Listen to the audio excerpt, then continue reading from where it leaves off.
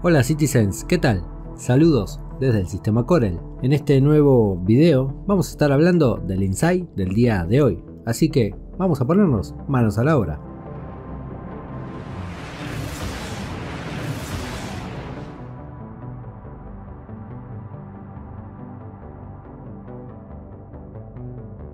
En este nuevo Insight de Star Citizen nos han hablado específicamente de la minería en primera persona con la tan esperada multiherramienta, con la cual podremos llevar adelante dicha tarea. Hablamos del minado en primera persona.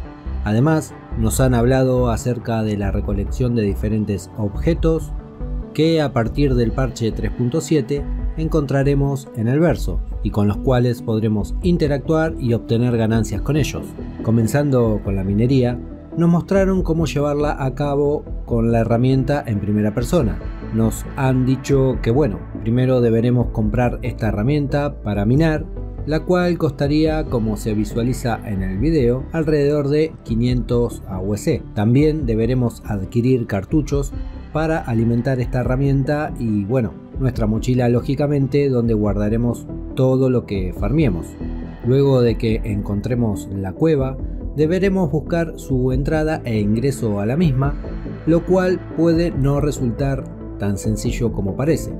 Una vez que encontremos la beta para minar, vamos a escanear la misma y esta, bueno, nos va a traer todos sus datos tales como inestabilidad, resistencia, bueno, todo lo que se acostumbra cuando se escanea una roca que vayamos a minar, tal como sucede cuando lo hacemos a bordo de la Prospector, pero en este caso la información nos las va a mostrar a un lado de la multiherramienta. También nos dicen que bueno, una vez fracturada la roca podremos tomarlas para guardarlas en nuestro inventario personal para luego poder seguir realizando este trabajo en lo profundo de la cueva y por último llevar todo este contenido a las diferentes tiendas que acepten estos objetos.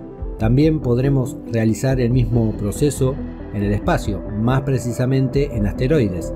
Para ello deberíamos primero localizar un asteroide con materia prima utilizando la Prospector y luego al salir en EVA de la nave, cuando hablo de salir en EVA me refiero a flotar. Esto lo aclaro porque varias veces han preguntado qué quiere decir la palabra EVA.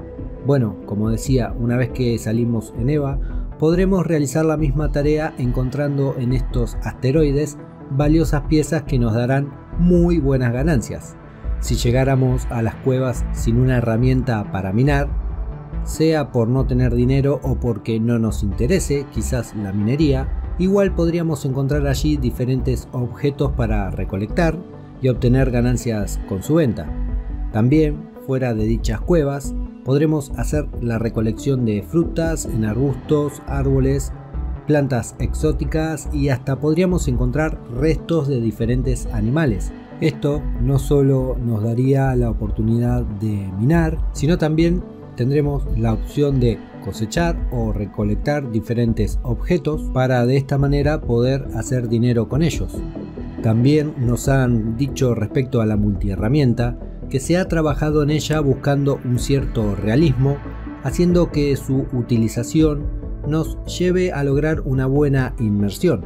Además, han trabajado en los diferentes sonidos, ya sea cuando recogemos objetos o cuando lanzamos los mismos.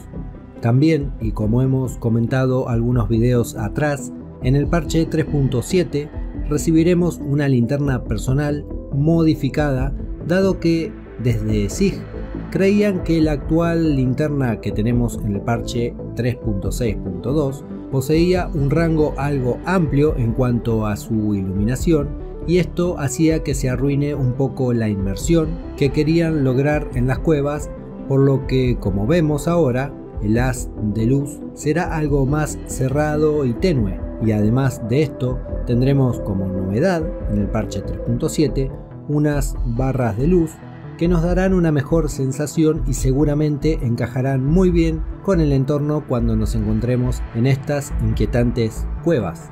También nos mostraron un gameplay dentro de las cuevas con el cual los voy a dejar, no sin antes olvidarme de decirles que mañana tendremos un nuevo concepto a la venta, así que muy atentos citizens. Bueno, si llegaron hasta aquí, como siempre, muchas gracias, buena vida a todos y si salen al verso, vuelen seguros.